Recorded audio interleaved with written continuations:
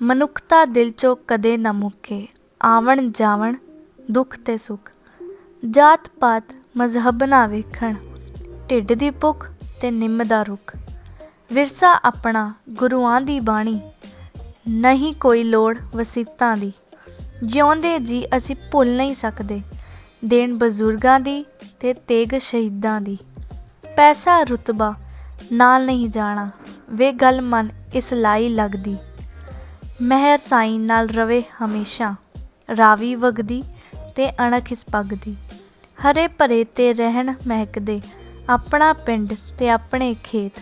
ਦੋ ਚੀਜ਼ਾਂ ਤੋਂ ਜਾਨ ਮੈਂ ਵਾਰਾਂ, ਇੱਕ ਪੰਜਾਬ ਤੇ ਇੱਕ ਮੇਰਾ ਦੇਸ਼। ਸਤਿ ਸ਼੍ਰੀ ਅਕਾਲ ਜੀ ਆਪ ਸਾਰਿਆਂ ਨੂੰ। ਮੇਰਾ ਨਾਮ ਗੁਰਸਿਮਰਨ ਕੌਰ ਹੈ ਤੇ ਮੈਂ ਪਟਿਆਲੇ ਸ਼ਹਿਰ ਦੀ ਰਹਿਣ ਵਾਲੀ ਹਾਂ। ਮੇਰੇ ਬਹੁਤ ਸਾਰੇ ਸ਼ੌਂਕ ਹਨ, ਜਿਨ੍ਹਾਂ ਵਿੱਚੋਂ ਇੱਕ ਤੁਸੀਂ ਦੇਖ ਚੁੱਕੇ ਹੋ ਕਿ ਮੈਨੂੰ ਬਾਈਕ ਚਲਾਉਣਾ ਬਹੁਤ ਪਸੰਦ ਹੈ। ਮੈਨੂੰ ਪੰਜਾਬ ਦੀ ਖੇਤ, ਪੰਜਾਬ ਦੀ ਹਰਿਆਲੀ ਬਹੁਤ ਪਸੰਦ ਹੈ। ਮੈਂ, ਮੈਨੂੰ ਨਵੀਂ ਨਵੀਂ ਜਗ੍ਹਾਵਾਂ ਤੇ ਜਾਣਾ ਬਹੁਤ ਪਸੰਦ ਹੈ। ਮੈਂ ਪੰਜਾਬ ਲਈ ਕੁਝ ਨਾ ਕੁਝ ਕਰਨਾ ਚਾਹੁੰਦੀ ਹਾਂ ਤਾਂ ਕਿ ਸਾਡਾ ਪੰਜਾਬ ਜੋ ਹੈ, ਵੱਧ ਤੋਂ ਵੱਧ ਤਰੱਕੀ